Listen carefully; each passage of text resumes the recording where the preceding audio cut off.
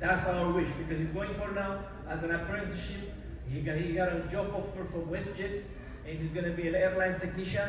We are really happy for him. Actually, I heard that his dream is to, to work for Ethiopian Airlines.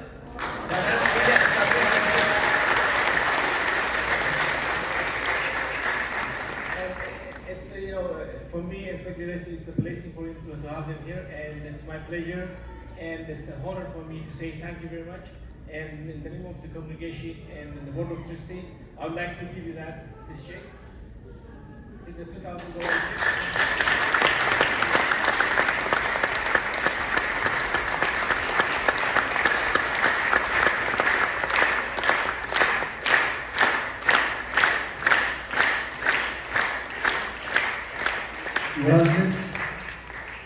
we wrote to Archbishop Micael